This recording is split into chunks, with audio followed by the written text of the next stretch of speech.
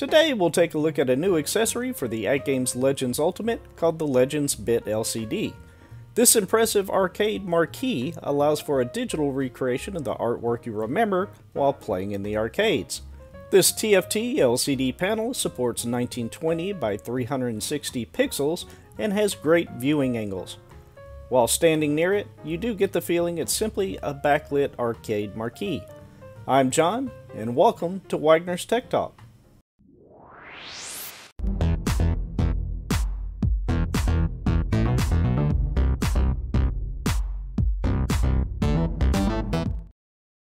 I want to make you aware if you visit wagnerstechtalk.com forward slash al bit LCD, it'll take you to the bit LCD guide. This guide is available now and provides additional insight on how to install the bit LCD, some common Q&A points that may be of interest to you, and a comparison between the bit pixel and the bit LCD, as well as how to batch convert your own marquee images if you're interested. Please take a look around Hopefully you'll find all the information you're looking for there. In this video, we'll expand on the guide by providing a closer look at what the device looks like before and after installation. If there are any sections that you're not interested in, there are chapter markers below where you can skip to the next section of interest quickly. I would like to thank AtGames for sending this bit LCD for guide development and to be able to show it to you a bit early.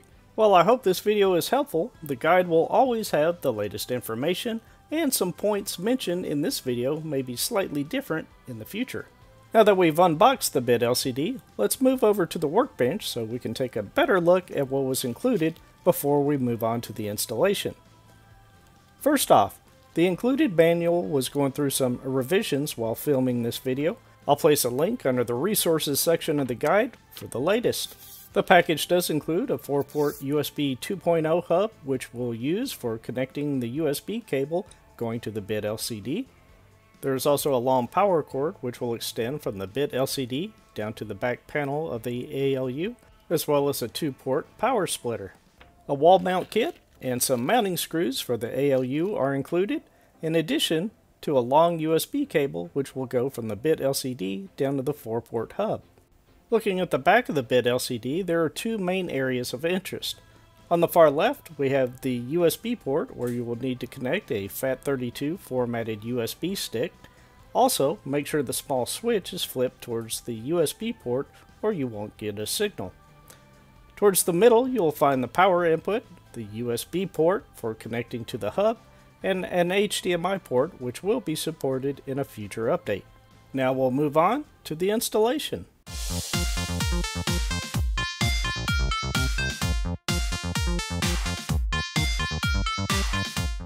At this point, I had the bit pixel installed. Regardless if you do or don't, start by powering off the ALU, then disconnect the power at the back of the cabinet. And I like to remove all the screws except the one at the very top middle. And then I'll go ahead and remove that last screw and then gently bring the back panel towards you, but be cautious as there are three wires that are connected to it. Unplug the blue Ethernet cable and the two black power cables from the panel, and set it aside for now. If you had previously installed the Legend Bit Pixel, go ahead and unplug it and remove the power adapter and USB cable going to the Bit Pixel. In my case, I was using the LBPA third-party board to the Bit Pixel, I'm going to disconnect it and reconnect everything back the way it was from games. You will need a USB stick dedicated for the BIT LCD. The one you see here is overkill. A 16 or 32 gigabyte USB stick will likely be more than enough. Another important note, whatever drive you use for the BIT LCD will need to be formatted as FAT32. I have step-by-step -step instructions in the guide to assist you with that. The USB stick will be used to download the artwork and MP4 files or any images that you choose to copy to the USB stick yourself. I'll disconnect the power and USB cable going to the BitPixel and then gently slide the BitPixel up and remove it from the cabinet. If you currently have the stock marquee, you'll want to install the included screws in either pattern 1 or 2 as shown here. On my ALU 1.1 cabinet, I use pattern 2 for the bit pixel, which is just fine for the bit LCD as well. I'll quickly point out the location where I had previously placed the screws for the bit pixel. Next, I'll position the new bit LCD over the screw mounts and go ahead and remove the plastic cover. Moving to the back of the ALU, unplug the small black and white LED cable as it's no longer needed. Now disconnect the USB cable going to the main board of the ALU, then plug the USB cable going from the control panel into the side of the included USB hub that only has a single port.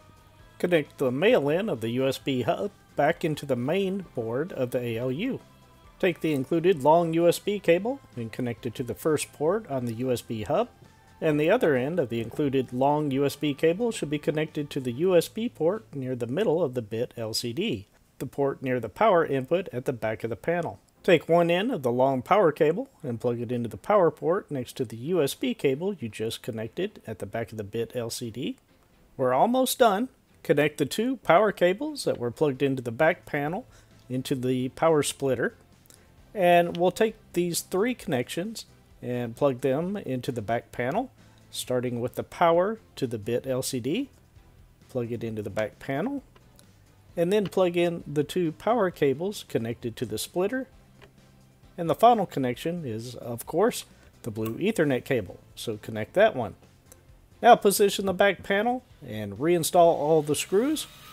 Plug in the power cable and we are done with the BIT LCD installation. Let's move on to the software.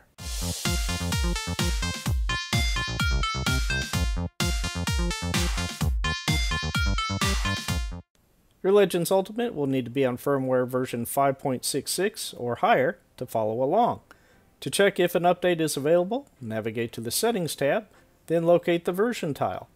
If you see version 5.66 or higher, you're good. If not, press A and follow the prompts to update the firmware. Next, we'll download and install the BitLCD application and update the firmware and resources for the BitLCD. To do that, navigate to the App Store X tab, select BitLCD, press A, and A again, then the Install button. After a few moments, the installation will complete Launch the Bit LCD application and move to the far right button, Update Bit LCD. Now select Update Bit LCD firmware. The firmware will then download and get applied to the Bit LCD. Wait for the Bit LCD to restart. Once complete, go back into Update Bit LCD and select Update Bit LCD Resources. This will create the folder structure for your USB stick as well as download and install all the latest first-party marquee images. Once done, back out of the application and navigate over to the Games tab and check out your new BIT LCD.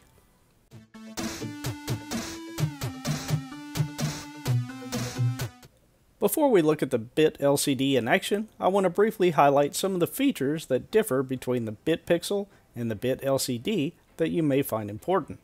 First off, I personally really like the 8-bit look of the bit pixel. My opinion on that has not changed.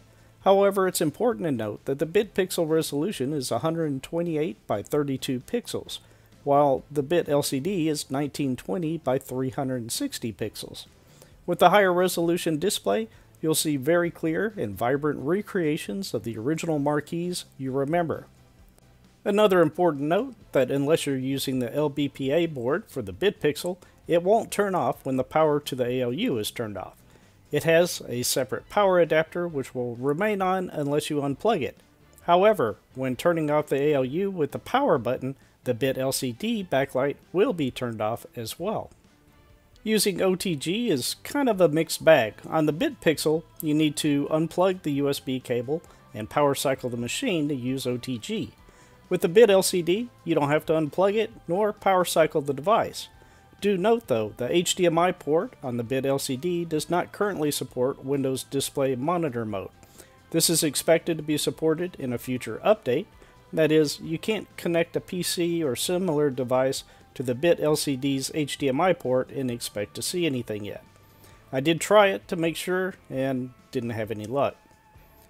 Also, a separate power supply is no longer needed for the BIT LCD as it is for the BIT Pixel. All the power is supplied by the ALU power adapter. This makes for a much cleaner install. Another thing I was asked to try by a viewer is if the bit pixel and the Bit LCD work at the same time.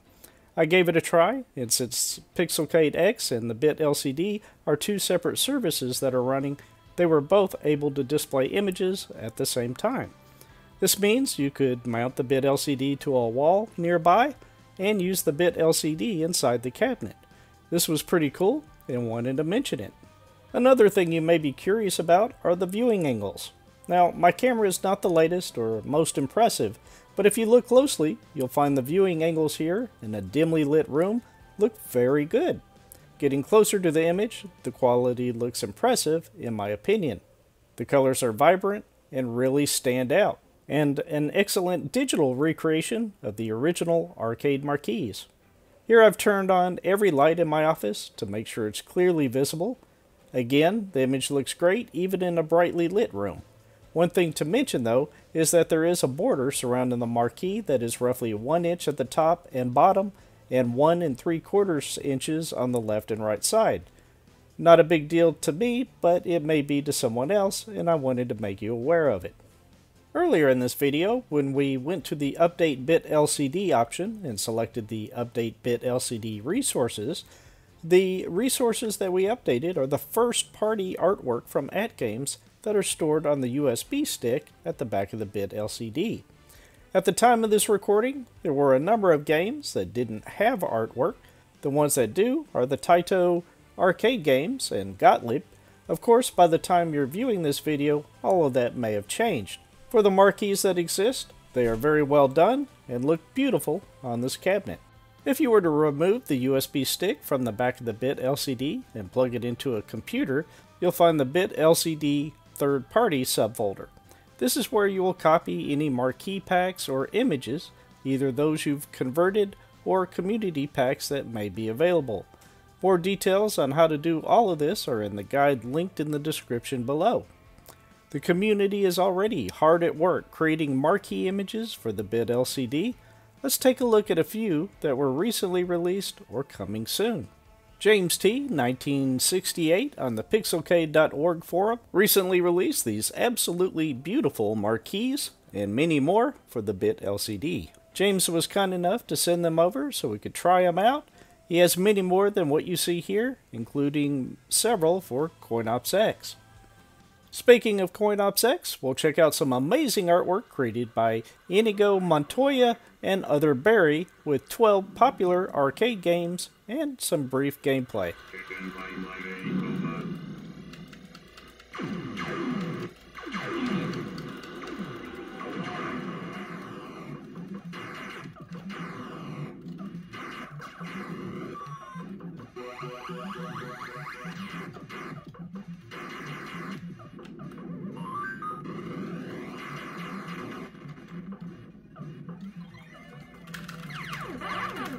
Oh, my God.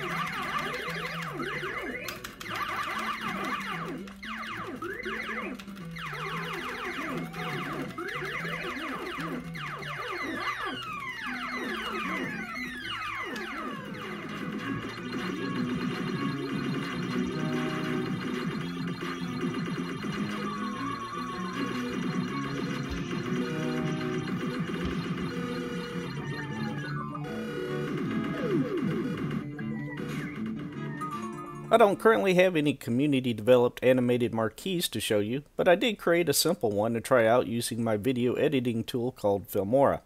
There are free video editors you can use as well if you prefer. I just added the AtGames animation and some text, exported as an MP4 file, and copied it to the Bit LCD thumb drive. I'm sure we'll see some awesome new animated marquees in the future, but hopefully this will give you a good idea that there is much more that can be done with the Bit LCD. That brings us to the end of another video. I'm very much enjoying the BIT LCD on my Legends Ultimate 1.1 cabinet. I want to remind you to check out the guide linked below for the latest information and tutorials for enhancing the BIT LCD.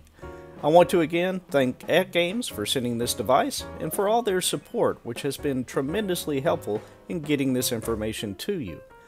If you have any questions not answered in this video, or you just want to simply express your thoughts on the BIT LCD, please comment below. If you found this video and the guide helpful, I appreciate your support by clicking the like button, and if you haven't already subscribed to the channel, please do. And with that, I look forward to talking with you again very soon.